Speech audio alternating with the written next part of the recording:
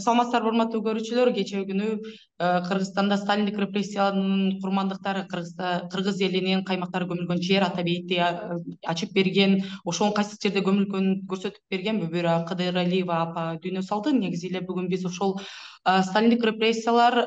ата бейит мемориалдык комплекси ушул жөнүндө сөз кылмакчыбыз. Бул үчүн бизде конокто тарых илимдеринин доктору ата бейит улуттук тарыхый мемориалдык комплексинин директору болот абдрахманов менен сөз кылмакчыбызбы. Болот агай саламатсызбы? Саламатсыңар. Алгач эле суроо эми сиз бул ата бейитти баштан көрсөткөндөн баштап ошол жердин ошол жердеги э, изилдөө иштерине казуу иштерине баарынан башынан баштап аралашып жүргөн ошол жердин азыркы күнгө чейин мындай бир актуалдыгын жоготпойбу андан кийин дагы негизи эле сталиндик репрессияларынын курмандыктары жөнүндө э, китептердин баарынын аттары жазылган китептерди чыгарып келген кишисиз биринчи жолугушуу бүбүра кыдыралиева менен кандай болду эле? Сиз сизде кандай сезим болду эле? Ушундай бир тарыхый жоопкерчиликти өзүңүз алып атканда. Рахмат сурооңузга э, чын айтканда бүгүн биз үчүн аябай кайгылуу күн болуп атат. Эмне дегенде ушул кыргызстандын э, силер айткандай кандуу кайгылуу ушул тарыхтын барактарын ачкан ошорекиге э, мынакей жардам берип көмөк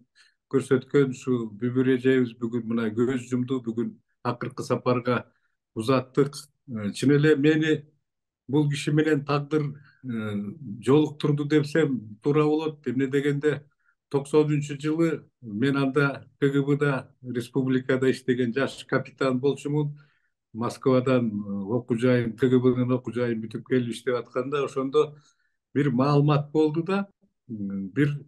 аял ичиндеги бир жүрөктөгү чоң бир сырын айткысы келип айта албай жүрөт деген.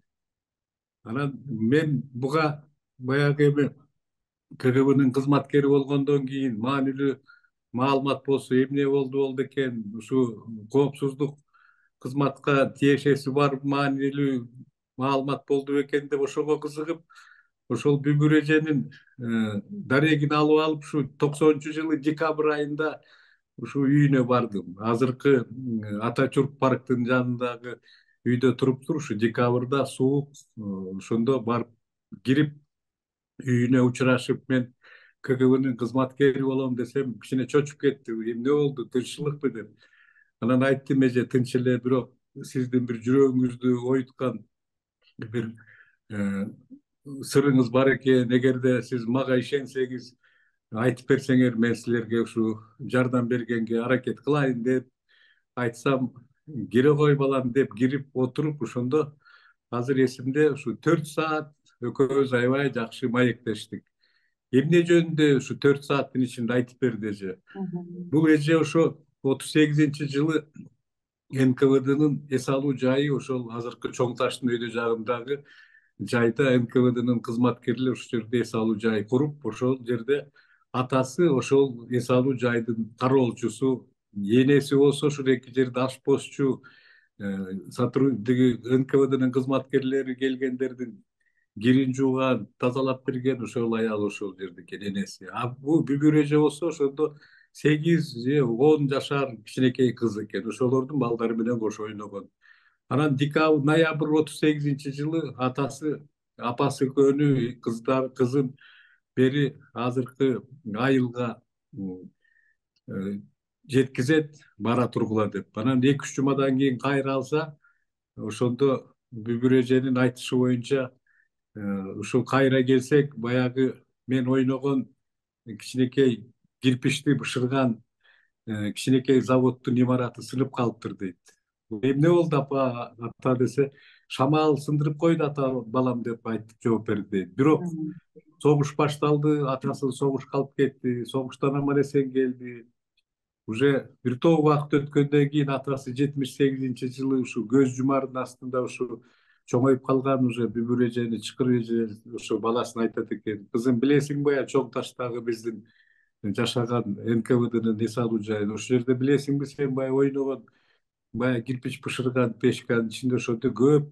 кишинин сөөгү жатат. Убакыт келсе ошону кабарды элге айтып койгун ошо ата энесин издеп жүргөн кишилер бардыр деп аманат кылып көз жумат. Эми бул ушурекинден бери мына айтканын убакыт келсе ошо шарттуу болсо деген анан эми жетимиш сегизинчи сексенинчи жылдары муну эч ким айта алчу эмес анан горбачев келгенде мына сексен беш сексен алтынчы жылы жанагы ачык айтуу демократия деген түшүнүктөр келе баштаганда ошондо эже убакыт келген окшойт деп тем более анда союз еще ура элек анан ошондо как раз сталиндик репрессия жөнүндө улам улам айта баштайт ушурекини айтыш керек ушуреки сөөктөрдү табыш керек деген ушул маселе көтөрүлүп атканда даже бул жерде эмес москвада ушу россияда союз учурунда ошону көтөрө баштаганда сексен тогузунчу жылы горбачевдун указы чыгат москвадан ушуреки сталиндик репрессияларды актоо жөнүндө анан убакыт келген экен деп анан бул жерден ошондо фрунзе шаарынан бир топ кишилерге айтканга аракет кылат бирок эч ким чочулап эч ким укпай коет коркот айтпа мага мага жакындаба деген. Ошон үчүн ушундай кыйналып жүргөн учурда анан айткан ошо болду да тем более анын ашказаны язва болуп кан түкүрүп калганда мен дагы ушуреки эле атамдын аманатын айтпай кетемби деп ушундай катуу чочуп аткан учурда анан мен келсем ушунун баарын тең айтып берди да декабрда. Анан айттым эже азыр эми кыш кар күн жылыса көрсөтүп бере аласызбы жанагы жерди? дедим. Макул деп анан токсон биринчи жылы апрель айында ошол азыркы жанагы ата бейит жерге барып эже ошондо элүү үч жыл барбаптыр ошол жерге. Бирок баягы эси аябай баарын тең жакшы эсинде экен баарын тең элестетип аябай толкунданып барып жанагы жерди айланып жүрүп анан өзүнүн ата энеси менен жашаган үйдүн ордун көрсөттү нквднын жанагы эс алуу жайын көрсөттү ошентип отуруп анан мына ошол жерден түндүк жака дагы бир эки жүз метрдей жанагы кирпич курган меш тургандай ошонун ордуна келип ошо ордун мага көрсөттү да. Анан ошол эки жерди кийин бир айдын ичинде мен кгбнын чоңдоруна ошол маалыматты айтып казуу жумуштарын баштадык. Анан ошол ошол токсон биринчи жылы бул эми ата бейиттин апрель айында болуп атса ата бейит өзү ошол кыргызстандын эгемендүүлүгү жарыяланганына бир күн эле калганда ачылды э. Ошол жерин да кеңирээк айтып берсеңиз кандай болуп себеби дегенде мындай болду? Биз апрелде эже мага көрсөттү мен жетекчилерге муну айттым. Жетекчилер жыйын өткөзүп кгбнын жетекчилери ошондо эмне кылалы казалы казбайлыкпы деп дагы талкуу болгон. Ошондо кээ бирөө чыккан мунун казыштын кереги жок биз кантип далилдейбиз бул жерде репрессия жаткан курмандыктарбы мүмкүн жөн эле башка кишилер жаткандыр кантип далилдейбиз бул бизге болбойт деп чочугандар болду бирок мен ушул эжеге ушунчалык ишенгенмин мен айттым карагылачы могу каражат маалыматтары азыр коопсуздук кызматы кандай критикалап атат кгбны бирок бул жанагы сталиндик репрессияга азыркы кгбнын муундарынын тиешеси жок да бул нквднын кылыктары биз азыр ушурекини биз ачып берсек наоборот бизге бул деген мындайды жумуштарды колдобой атканыбызды билгизебиз деп мен эми жаштык да курчтук ушурекини туруп алып далилдегенге аракет кылып алар ошенткенче өзүм москалев деген археологду таап университетте иштеген апарып жанагы эже көрсөткөн жерди көрсөтүп ошол жерден анан казып отуруп баш сөөктү тапты да ошо аткан кишинин ошол жетип жаткан жердеги бир сөөктүн мындай ачып көрсө октун кирген чыккан эки тешигин көрүп туруп анан мен генералга келип кгбнын төрагасы асанкулов генералга мен таптым жүрүңүз деп ошол жерге эртеси күнү апарып ошол жерден анан ал дагы куран окуп анан баштагыла деп санкцияны берип ошол биз июльда баштадык июльдүн башында эки жума каздык июльдүн ушул ортолоп бүттүк бүткөндөн кийин мунун уникалдуулугу жанагы үч метрлик туура узун тереңдигинде жүз отуз жети кишинин сөөгү чыкты эң уникалдуулугу аягында то есть бул жерге суу кирбеген аба кирбеген шарттар түзүлүп кагаз чыкпады кагаз элүү үч жыл ошол кагаз сакталып жатып ошол жерде орусча айтканда обвинительный заключение нквднын бешинчи ноябрь отуз сегизинчи жылы элүү сегизинчи статья деген ушундай коркунучтуу статья болчу ушул эл душмандарын атыш ошо менен атылсын деп төрөкул айтматов эртеси жусуп абдрахманов ушу эки кишинин ушул документтерин таап ошол документтердин номери менен кгбнын архивинен карап көрсөк өзүнчө папкада жүз отуз жети кишинин фамилиясы жүрбөйбү ошонун арасында айтматов исакеев тыныстанов айдаралиев абдрахманов деген инсандардын баары тең жүрөт а тиякта дагы жүз отуз жети кишинин мынакей башы чыкты значит анагылар ошонуку экен деп далилдеди да. Анан акаев президент учурунда ошо акаевге ошол экен айтылды. Анан алар ойлоп туруп анан ошол кайра коюу аземин отузунчу августка даярлап анагы сөөктөрдүн баарын тең жүз отуз жети жыгач жашиктерге салып алып бишкектин азыркы борбордук аянтына машинеге жүктөп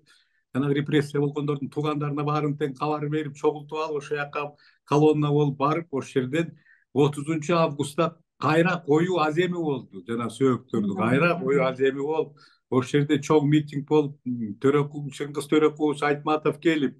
туугандары келип бүт баягы жетекчилер келип ошол жерден анан чыңгыз төрөкулович ошондо бул ата бейит болсун деген ушу жай болсун деп ошол жерден атап анан отуз биринчи августан эртесинен эгемендик болуп атат бул экөөнүн байланышы бар да эмне дегенде мен ойлойм элге мына бизге жаңы заман келди баягы эскилердин баарын тең ачып атабыз азыркы жаңы заманыбызда эми эгемендик болгондон кийин мындайлардын баарын тең ачыкка чыгарышыбыз керек тарыхыбызды билишибиз керек деген маани менен анан ойлойм отуз биринде эгемендик болуп жарыяланды мындан кийинки ошол ата бейитти андан кийин да көп өзгөрдү ошол жерде жанагы башкарадан курулду дегендейчи мемориалдык комплекстин өзү жөнүндө айта турган болсок мындан кийин бүбүра кыдыралиеванын ролу кандай болду бул түптөлүшүндө азыркы учурга жетишинде себеби дегенде биз ушул жаңылыктардан буга чейинки дагы бир канча бүбүра кыдыралиева жөнүндө жасалган материалдардан көргөндө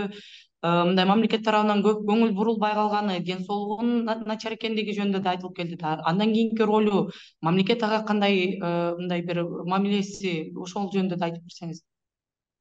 эми андан кийинки ролун эмес эми бул менимче мындай жумушту кишиге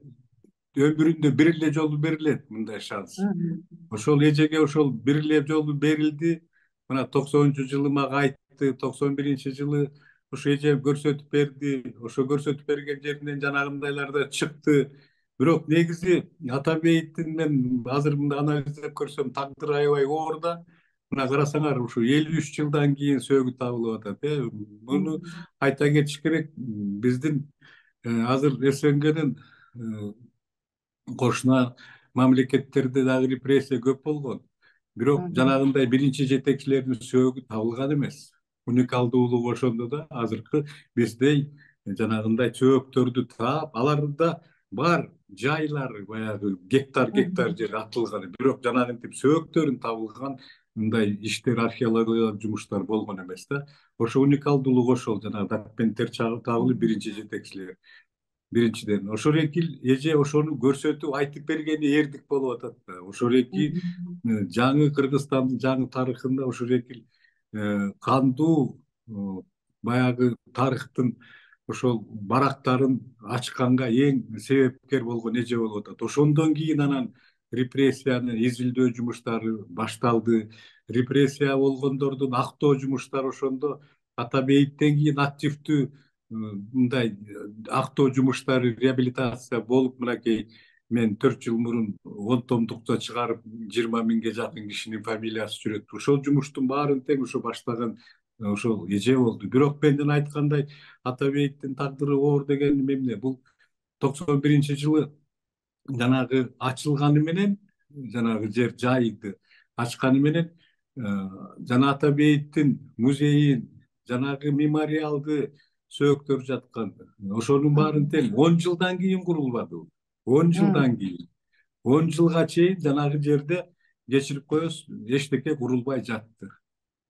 Мен ошондо эки үч жолу барып ошондо дагы сизге окшогон мынакей журналисттерге бир интервью айткам бергенмин карагылачы могу жерде мал оттоп жүрөт. Молоттоп жүрөт.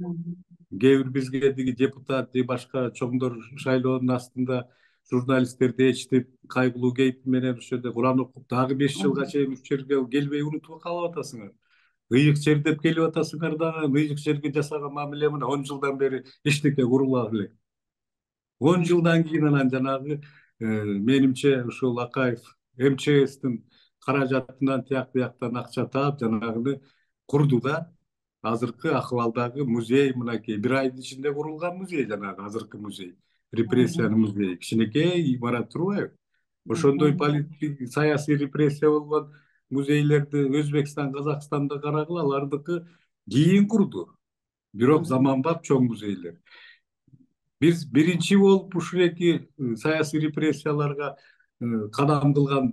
союз ошо снг союз боюнча биз кылдык. Биз биринчи таптык ошо сөөктөрдү. Бирок бир топ убакытка ушул эки унутулуп калып мына он жылдан кийин гана жанагы курулду да он жылдан кийин анан эми жерде ролу кийинки роль дегенде эженики ошол он жылда ошол ачылып атканда ошол бүбүр эжени ошондо он жылдан кийин чакырды ошондо медаль берди ошондо дагы эже айткан он жылдан бери бир жолу эстеп койгонуңарга рахмат депчи көрдүңөрбү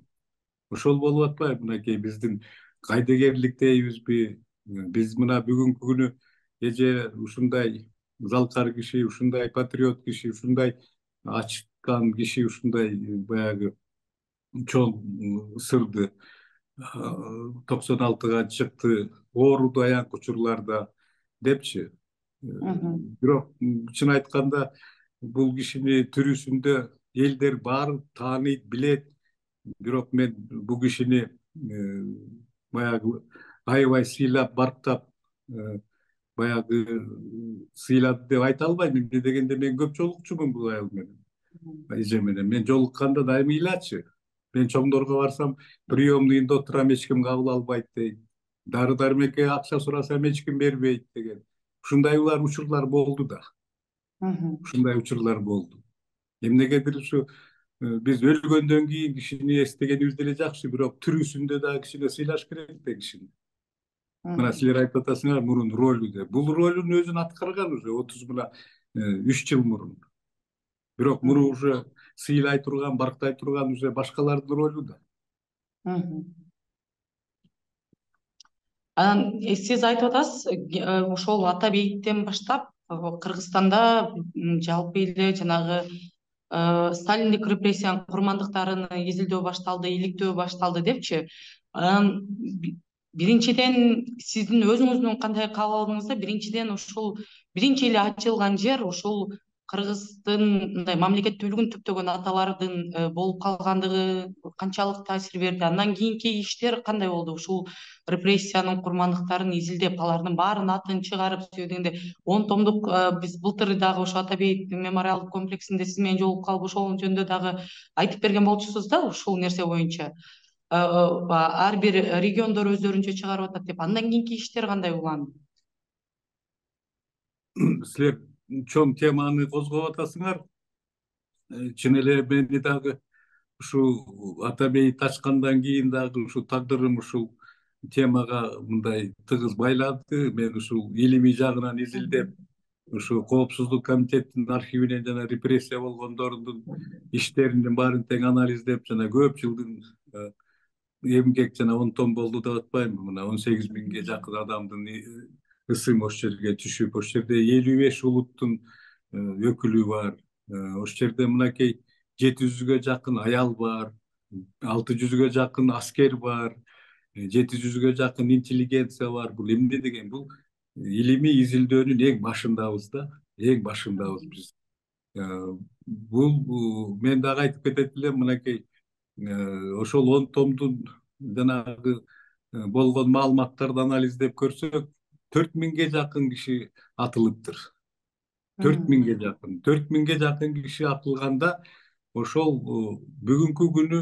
ошол атылгандардын сөөгү ушу ата бейитте эле табылып атпайбы? Көрдүңүзбү? Ата бейитте башка региондордо мисалы ошол эле ошто нарында көлдө дагы ушу отуз сегизинчи жылы нквднын түрмөсүндө көп жүздөгөн жүздөгөн биздин жарандар инсандар атылган бирок алардын бүгүнкү күнгө чейин ошол атылгандарды көмүлгөн жайын эч ким таба элек биле элек эч ким азыр ата бейитке келген биздин көп жарандар ошо башка региондордон сурайт биздин атабыз мисалы нарынданбыз оштон качан табасыңар качан издейсиңер деп ошол ыйыктыгы да ошол болуп атат да ыйыктык ошол бир четинен экинчисинен мынакей эң биринчи жетекчилердин сөөктөрү ушул жерден чыгып атат ушул жерден чыгып атат мына мен сизге айтып коеюн жана биринчи он жылдын ичинде жанагы музей курулуп элек да силер башка жакты тиги качан казасыңар издейсиңер деген кишилерге мен мындай жооп бергенмин биринчи жолу казган жердин кейпи жанагындай башка жерди казып эмне кылабыз таап жанагындай мал оттоп жүрө берсин баягы жерди да биринчи хотя бир тапкан жерибизди бир жакшы акыбалга келтирип алгалычы анан калгандарын издейлик деп. Ушундай дагы жооп бергенге мен мажбур болгом. Хотя бизде божомолдогон маалыматтар бар. Мисалы мен чоң ташты тапкандан кийин кгбга көп каттар арыздар келгенде бир арыз келди оштон.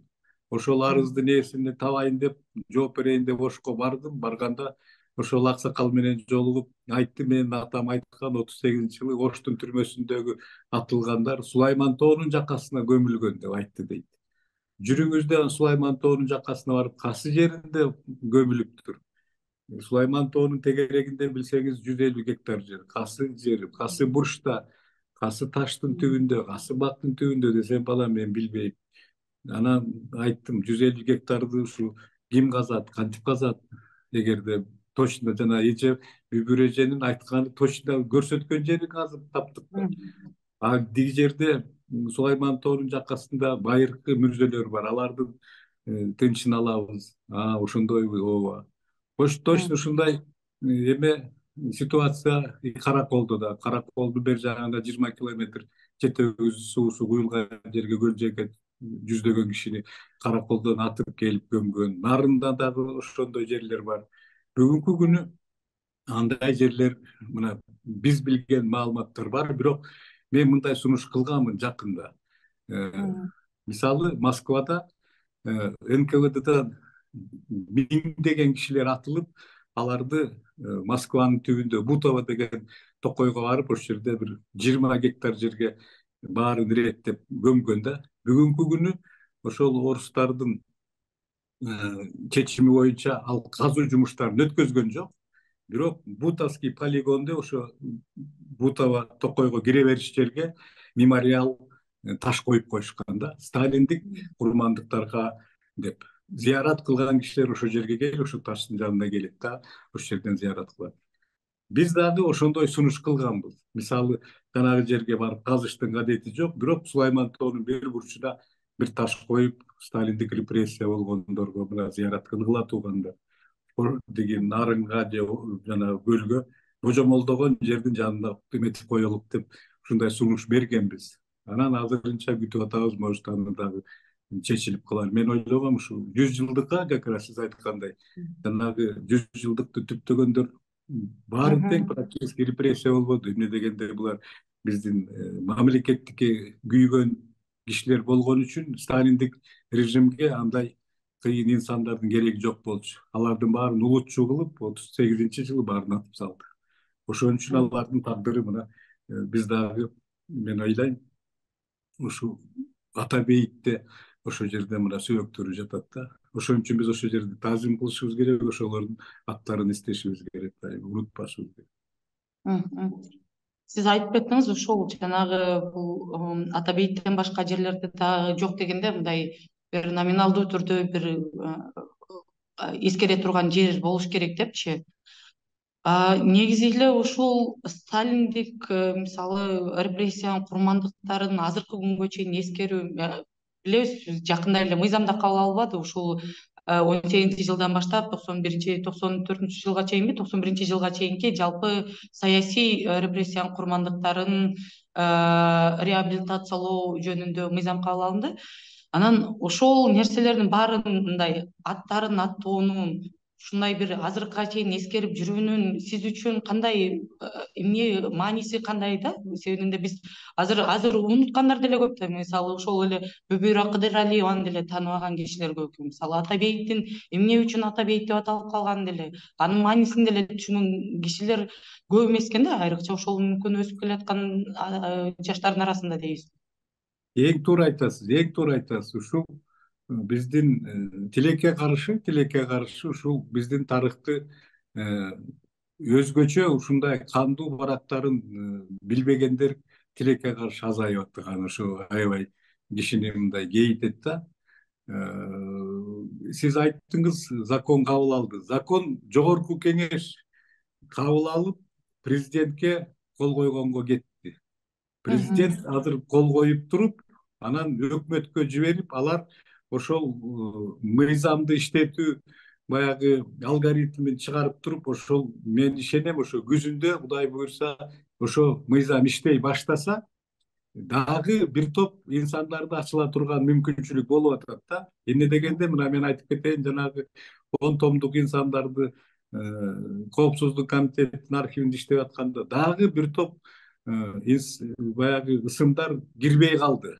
Эмне дегенде алар ошоки азыркы жаңы ушул мыйзамдын долбоору менен ошолордун рети келди да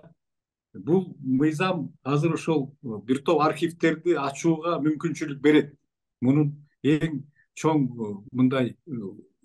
пайдасы ошол да бир чоң прогрессивдүү пайдасы мына казактар төрт жылдан бери ушул жумушту аябай активдүү иштеп булар мына сизге айтып коеюн чоң изилдөөчү топту түзүп алышып бүгүнкү күнү жетимиш том китеп чыгарышты жетимиш том элестетиңиз эгерде кыргызстанда бүгүн бизде жанагы мындай көрсөткүчүбүз жок мактана албайбыз казактар төрт жүз тарыхчыны чакырып келип төрт жүз каржылап айлыгын берип төрт жылдан бери жетимиш том китепти чыгарып архивтеринин баарын тең ачтырып жана төрт жүз изилдөөчү кирип тарыхчылар көп материалды алып анын баарын тең изилдеп казакстандын президентинин архивине ошол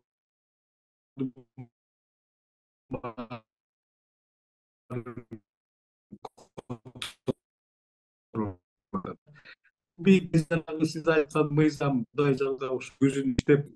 кудай буюрса эми биздин мүмкүнчүлүгүбүз казакстандыкындай эмес конечно биздики эми төрт жүз бизге тарыхчыны каржылап бере алат деп деле мен ишенбейм бирок ушуну долбоорду баягы демилге кылган депутаттар жардам бар чоңдор менен сүйлөштүк алар дагы каржылайбыз деп барды хотя бир он беш жыйырма изилдөөчүнүгө мүмкүнчүлүк берсе бүгүнкү күнү эртең ушул жумушту баштасак мен айтам мына он том эмес уже дагы беш алты том жаңы жаңы сымдар чыгат эле мына мен сизге айтып коеюн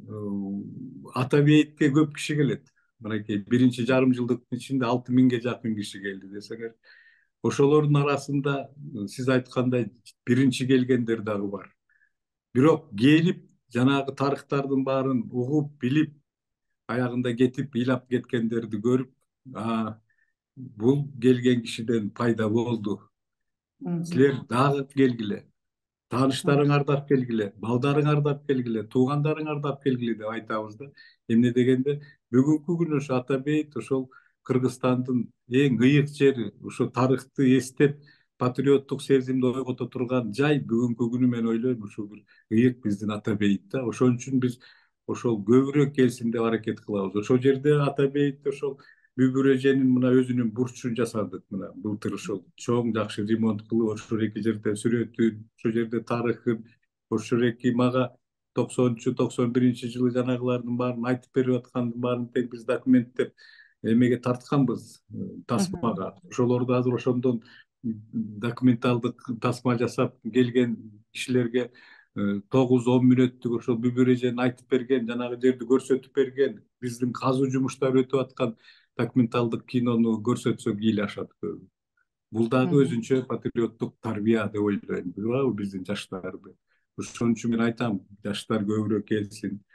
келсе тарыхын билсин кээ бир музейге жөн эле барса бул жерге ошол тарыхты билиш үчүн барат. Бул аябай чоң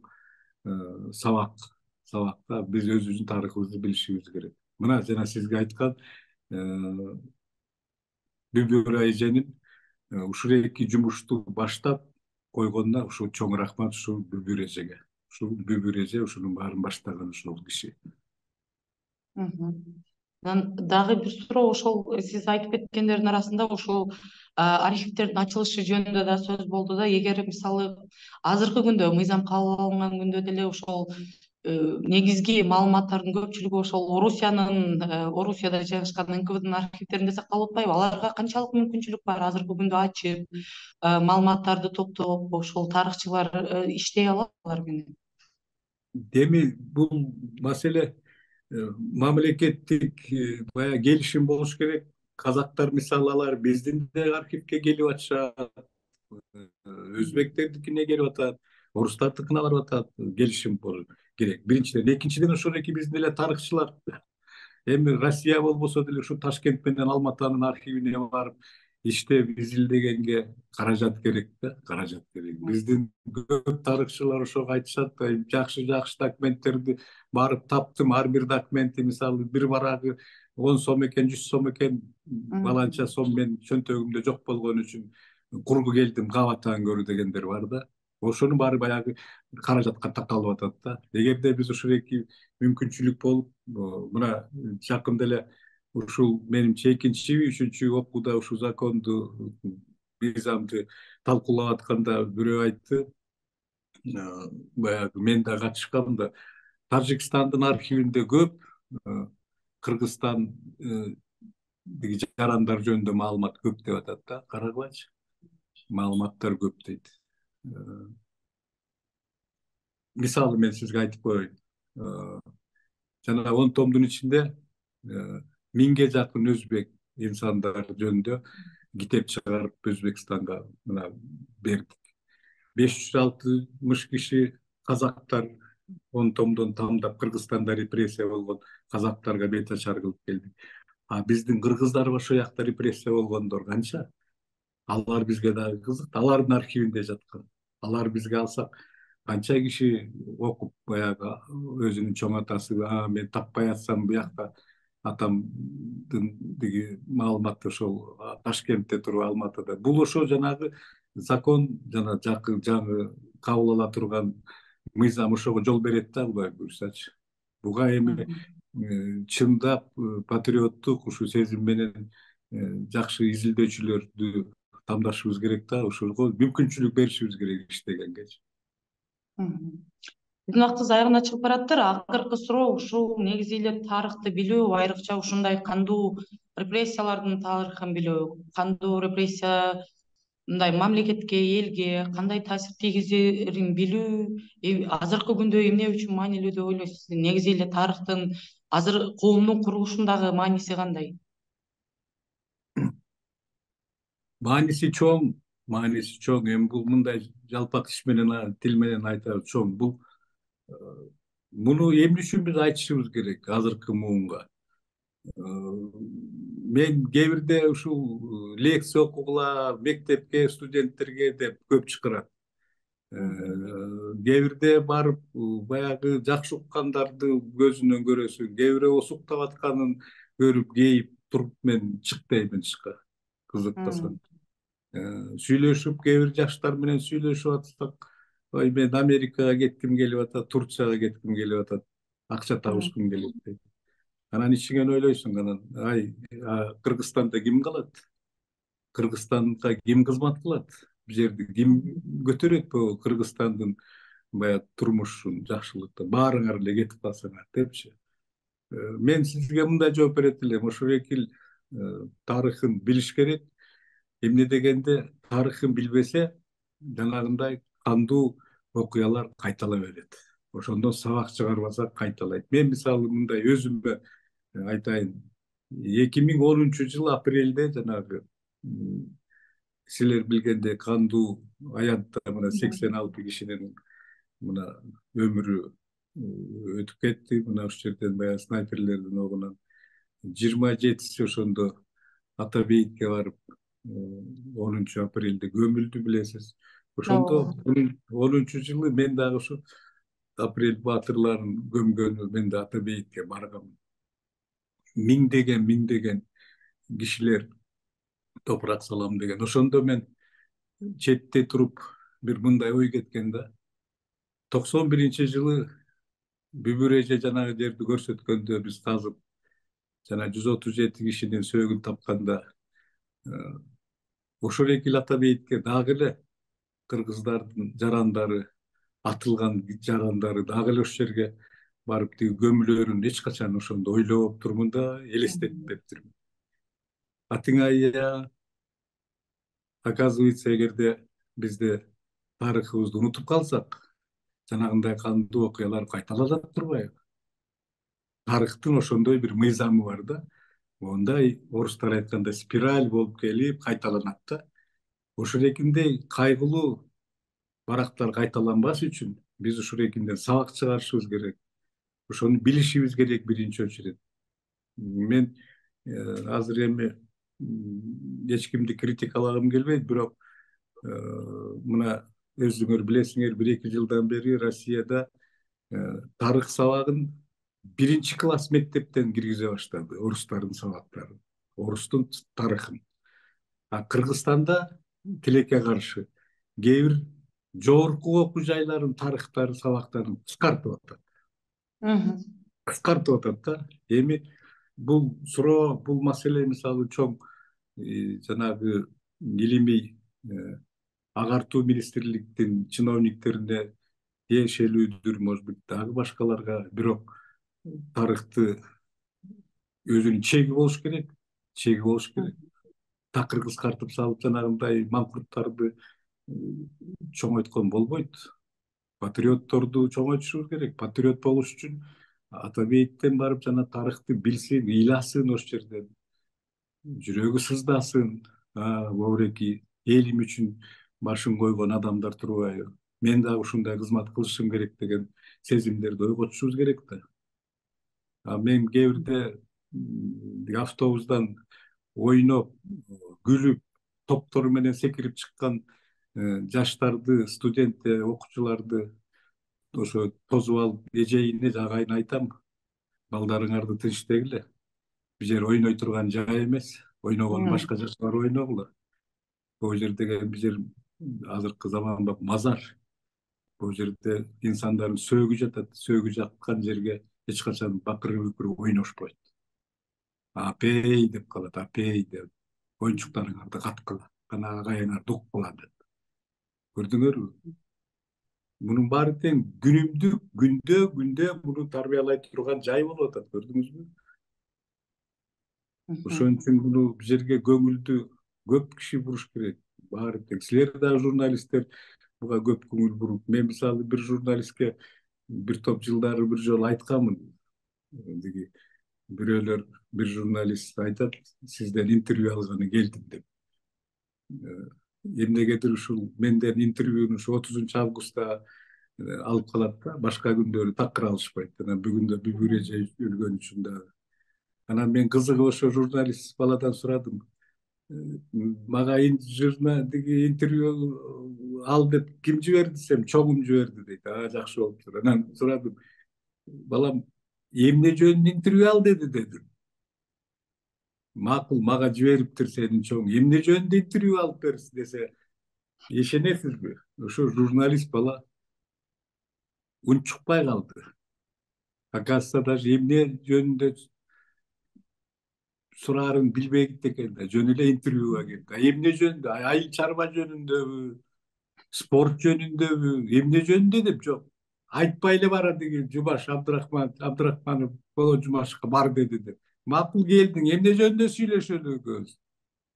кыздар жөнүндө сүйлөш аба ырайы жөнүндө сүйлөшөлү деп уят кылгам көрдүңөрбү мына силердин коллегаларыңар ошон үчүн силер да кээ бирде бул ушул теманы бат баттан козгоп туралы мен силерди мисалы ата бейитке чакырам келгиле бул репрессия темасы аябай кенен тема. Репрессия темасы аябай кызык тема. Ушурекиндей мына сиз менен азыркы маектешкендей көп бир цикл кылсак болот да цикл. Мисалы мен четин эле чыгарып коеюн жана башында айттым. Бүгүнкү күнү жанагы жети жүзгө жакын репрессия болгон аялдар жөнүндө ким билет? Эч ким билбейт. Эмне үчүн аялдарды репрессия кылган алты жүзгө жакын аскерлер репрессия болгон ал ошол жөнүндө талкууласак болот он төрт жашар балдар репрессия болгон алар эмне үчүн репрессия болгон ушуларды бир цикл цикл кылып алып биз бир топ жакшы маектешип бир топ кызык нерселерди дагы маектешсек болот да мен ушул эки нерселерге чакырат элем айтат элем чоң рахмат урматтуу көрүүчүлөр кечээ күнү кыргызстанда элүү үч жыл бою ушул ата бейиттин өзүнүн сырын агаткан ошол кыргызстандын биринчи мамлекеттин куруучуларын жаткан жерин таап берген бүбүра кыдыралиева болду биздин редакциядагы анын жакындарына терең кайгыруу менен көңүл айтат биз бүгүн ошол эле бүбүра кыдыралиева ата бейиттин тарыхы азыркы күндөгү абалы жана негизи эле репрессияны билүү эмне үчүн керектиги жөнүндө сөз кылдык. Бул үчүн бизде конокто тарых илимдеринин доктору ата бейит улуттук тарыхый мемориалдык комплексинин директору болот абдрахманов болду. Болот агай келип бергениңизге чоң рахмат. Аябай кызыктуу маек болду. Маегиңизге чоң рахмат. Алып барган мен перизат сайтбурхан кийинки берүүлөрдөн көрүшкөнчө сак саламатта туруңуздар.